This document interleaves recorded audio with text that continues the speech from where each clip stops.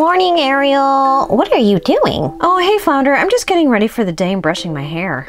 What is that anyway? It's called a fork. Oh, and you brush your hair with it? Yep, that's what Scuttle said. Oh, Ariel. Good morning, Sebastian. That is not what a fork is used for. Okay, smarty pants. What is a fork used for? For eating lunch like me. Was Scuttle wrong? Of course, Scuttle was wrong. You're talking about a bird without any brains. Hey, now, Sebastian, be nice. Anyways, what's the plan for today?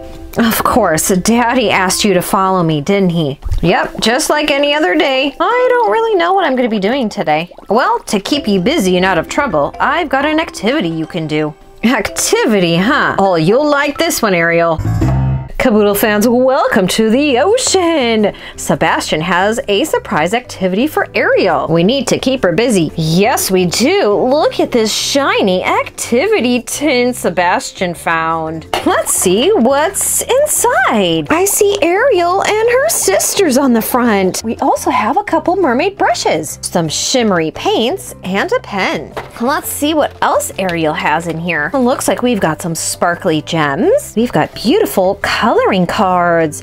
This one's of Ariel. Who is this sister? Another sister. Ariel is a human. Ariel, sister. We've got Sebastian Flounder. Oh, and Ursula. We also have some shiny stickers.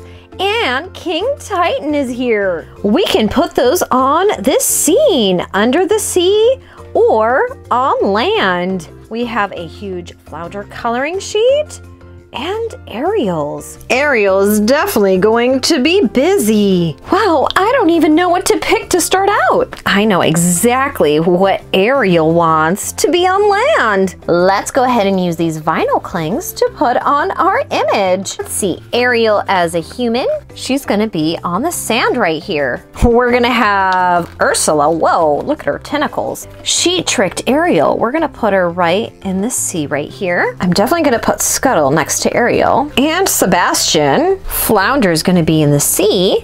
Too bad we don't have one of Eric. Here is our scene. Now let's take our notebook with all of the sisters. Do you know their names? Let's see if I can do this without looking it up. So we've got Ariel. That is Perla because these look like pearls on her outfit.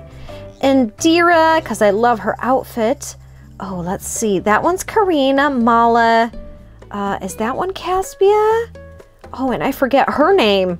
I almost have them all memorized. Let's look for a page to decorate and write in. Oh, I really like this one. We've got Ariel Flounder. Let's use our stickers to fill it in.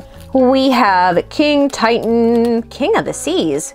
Let's put him way over here. Can't forget about Sebastian. He's always watching Ariel. We have Mala, one of the sisters. Put her right here. So this one is Caspia with the pink hair. We're gonna put her right next to Sebastian.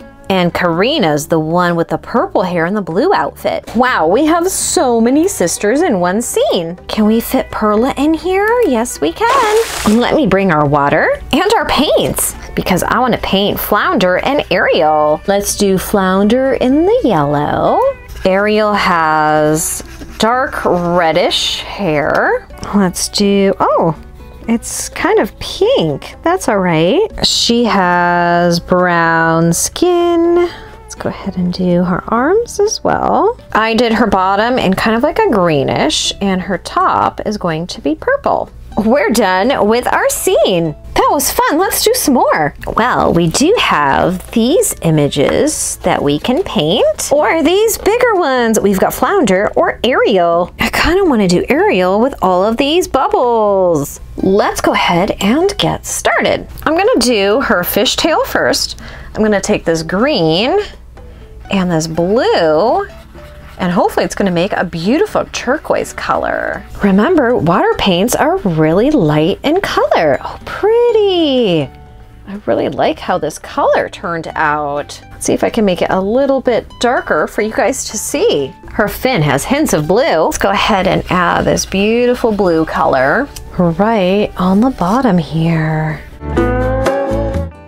That's so pretty. I'm just gonna go up a little bit with this blue. Let's take this purple and her top is in that color. I really like how it's turning out. Next up, we have red for the hair. I'm gonna take the red and the brown and mix them together to make it a little bit darker. Let's go ahead and work on the hair part. It's very, very wavy. Let me do the right side as well. The colors are really popping out. Let's do the brown for her skin color and go ahead and start painting the body. Let's do her arms too. I'm gonna try to go around her eyes and her lips. Very pretty. Okay, on to her lips. Let's do them in this kind of reddish pink color. I think her whole mouth is just gonna be that color. There we go. And let's just finish off the image. The bubbles are gonna be in blue. The seaweed is gonna be in this green. All right, Caboodle fans, here is my Ariel. This one turned out really awesome. Plus, I love the pearly effect that the paints give. My daughter is painting Flounder over there. Well, Ariel, did you like it? Ariel, where did that girl go again?